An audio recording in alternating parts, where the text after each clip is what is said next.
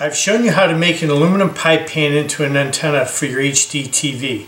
Now the next question, will two pie pans make an antenna twice as good? Let's hop to it.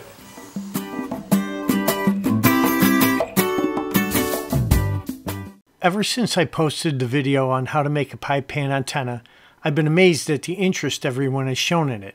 At this moment, it's one of my most watched and commented videos on my channel. I wondered why such a simple antenna was creating such a fuss. So I read all the comments and spoke to some of my followers, and the basis of all this interest is pretty clear to me. Apparently, you folks like the fact that this antenna not only works, but that it's simple and cheap to make. I can appreciate that. This antenna was originally designed as either an emergency antenna or something your kids could use as a school project, but sometimes simple can be better. Well, some of you want to know if I could do something to enhance the performance of this antenna. Maybe in your location, it just doesn't quite get the reception you were hoping for. After a bunch of tinkering and building, I've come up with a simple but effective antenna that I think just might help you out. So here is my second version, the 2 pie pan antenna, and it does perform even better than the first design without getting much more complex to build.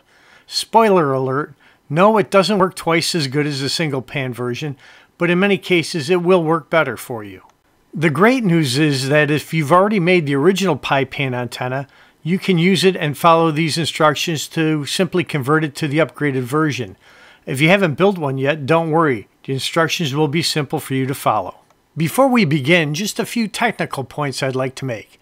This antenna is designed to receive strong UHF television frequencies. If the stations in your area are broadcasting weak signals, are distant, are blocked by a whole bunch of hills, trees, or even buildings, or are broadcasting on a VHF frequency, you might be better off with a different antenna design than this one.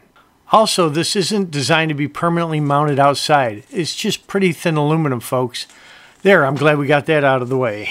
Enough talking, let's get to building. You will only need a few basic parts to make this antenna. The first thing you will need is two 9-inch aluminum pie pans. You probably have a few pie pans laying around, but if not, you can buy them cheaply enough. I got these from Dollar Tree, but I don't really care for them. This aluminum they used is really thin, so it makes it difficult to fabricate. Next, you will need six small machine screws, six washers, and six nuts. I'm using number 10 by 3 8 inch screws. Now you'll need some wire to connect the pie pans together. I tried to skip the wires and just attach the pans together directly, but I couldn't get any increase in performance that way. In fact, the performance slightly suffered. You will need some solid wire. I'm using 14 gauge Romex house wire as it's nice and stiff but easy to work with. Use the bare copper wire. A 10 inch piece is needed.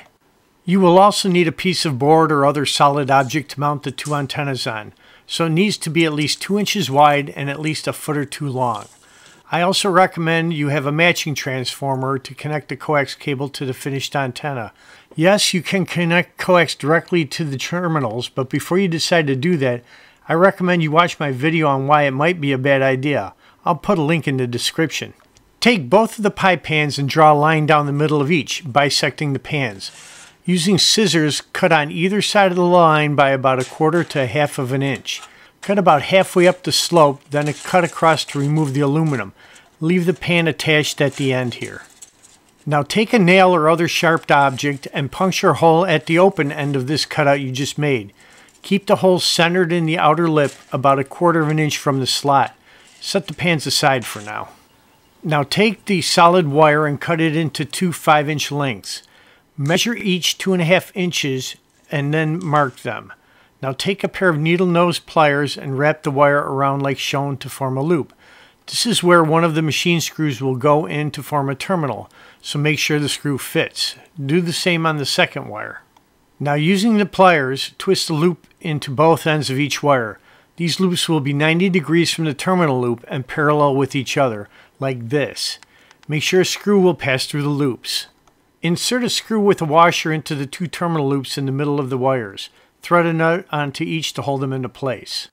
Push a screw into one of the holes you had made in the pie pan. Slip the wire loop onto the end of the screw, put on a washer, and snug a bolt into place. Do this for all four wire ends. Your two antenna elements are built, but you have to attach them to the board to give you some strength. You can screw through the aluminum onto the board with short screws, or you can just pop some staples into it. There you go, a double pie pan antenna, and it only took about 10 minutes to make. All you need to do now is hook it up to your TV, aim it at your stations, and see how it works. I tested this antenna versus my single pie pan version, and it did work better. On this particular night, the single pan got 34 stations and the double pan got 39. The weaker stations also came in stronger on the double antenna with an average of one bar more on the TV signal meter. If this antenna is still not powerful enough for your particular situation and you don't mind doing a little bit more work, then check out these links to my hoop antenna and my octagon antenna.